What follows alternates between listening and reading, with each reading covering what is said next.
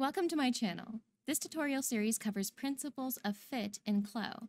In this video, we will learn how to address the fit issues of a bodice with drag lines pulling across the upper chest and gaping at the center back neckline. Let's get started. Just like with anything that we're fitting, we're going to start with our pre-fitting checklist. So first of all, we want to make sure that our fit map is turned on here. So that's Alt 8. And um, that'll just show any um, dis any stress points in the garment.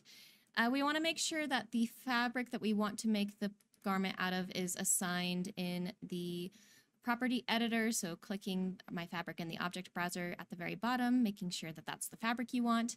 And then I also add a grid to the texture just to help see what's happening. I need to turn thick textured surface on to see that grid.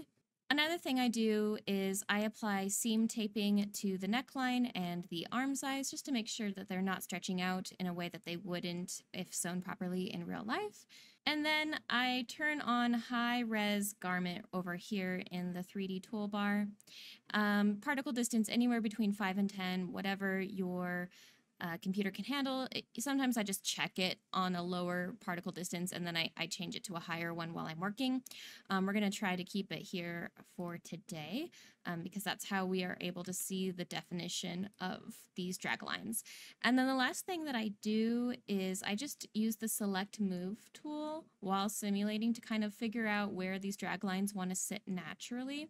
And it also gives me a chance to kind of just look over the garment and see what's, what's really happening here. Once that's done, um, I just, you know, just to track what I'm doing, I like to copy everything with the um, transform pattern tool or the A hotkey. Just select everything, copy and paste um, somewhere else in the 2D window, right click, and then archive pattern, just to have that as a reference for later. Okay, I'm just going to close out of these windows just to give myself some more space while I work.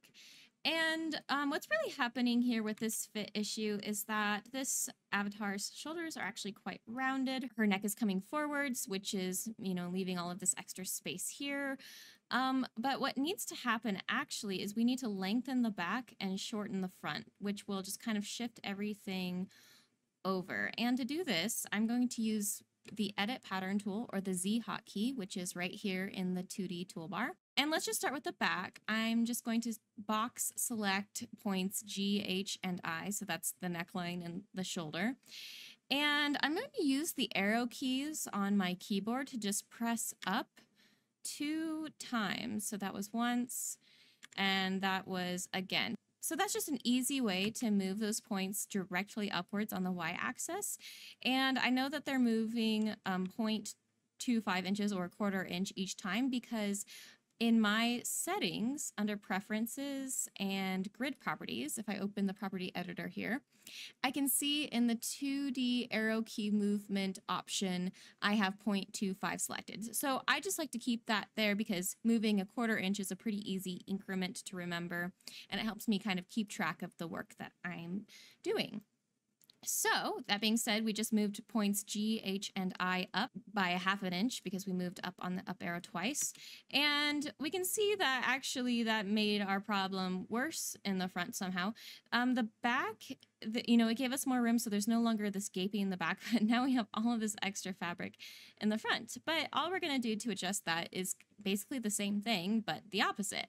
I'm going to box select points A, B, and C in the front, and then I'm going to press my down arrow twice to remove a half of an inch from the front. So when I simulate, that really smooths that out quite a bit, and that is um, pretty much addressed both of those issues.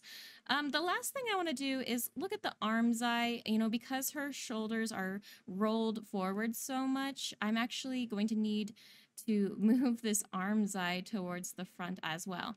And, you know, I could, and you know, just um, adjust the curves on the front and the back, but it looks like I, um, this whole side seam is kind of um, tilted to the back. So what I'm going to do is still with that edit pattern tool, I'm just going to select J and D. And this time I'm going to use the right arrow key and just go ahead and move that over two times and simulate and that looks like that balances out my armscye um, a, a, lot nicer.